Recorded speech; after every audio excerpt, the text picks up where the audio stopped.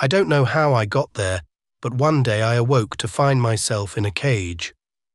Instead of bars like a prison cell, as might be expected, the walls that encircled me gave the place of my confinement the appearance of a giant hamster cage.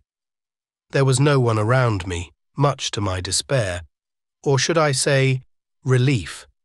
For who would savour the notion of such a despicable sight and deplorable absence of dignity being witnessed by another? What happened last night? Indeed, what had I done to deserve such a penance? From the best of my recollection, it was a normal night. I had gone to bed at the usual time, a solitary man ending his day of work. There was no grounds to presume I had enemies.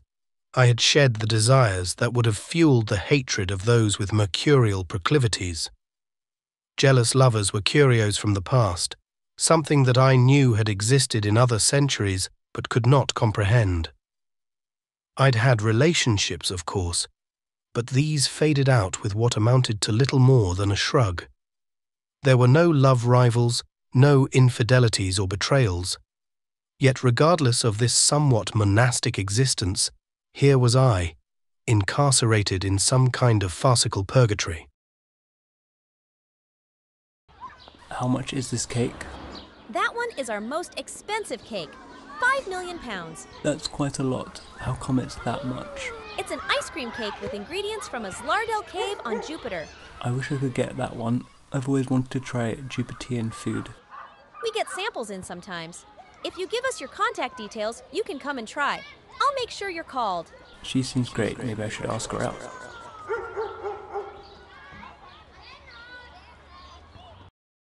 What language is that? Dunno. And now it's sort of English? Ah, it's spewing money. Quick, get your bag. There are some really weird things coming out. Bag 'em. Is anyone looking? Nah, get it all.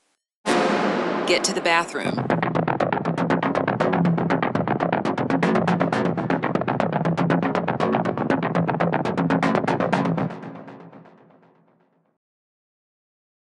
Wake up. Wake up. Wake the fuck up. One hour later. Alright, let's get this day rolling. One hour later. Attention. Incoming Garrick's military. Attention.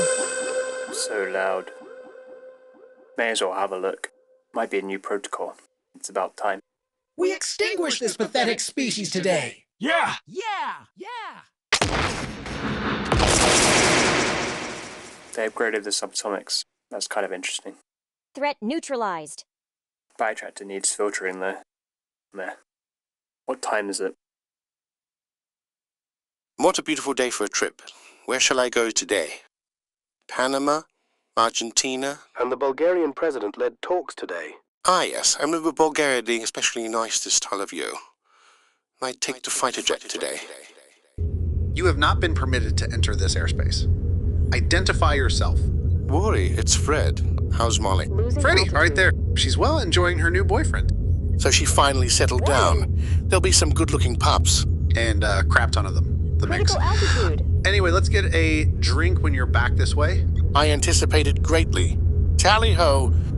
Certainly a great day for a flight. Great, here he comes. This fucking guy. I told you to keep a 10 mile distance between us. Your super hearing, or whatever you call it, not working. You know it's sonar, Steve. I had to tell you something and didn't want to shout it. I know I'm not supposed to kill any henchmen. The president already said. No, I just had to tell you that the. Haha, enjoy it, mofo. Ten minutes later. He got me again. I let my guard down. This is the last time. I'm really going to kill him now.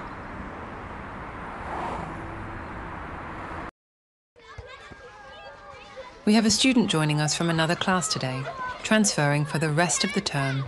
Everybody please welcome Susan. Salutations, classmates. We don't know her. Yes, thank you, Cherise. There's nothing wrong with the way Susan talks. It was a very eloquent greeting. There he is. By my calculations, the chocolate bar he consumed one hour ago will be digested and ready to be excreted by 11:30, at which point phase 5 can commence.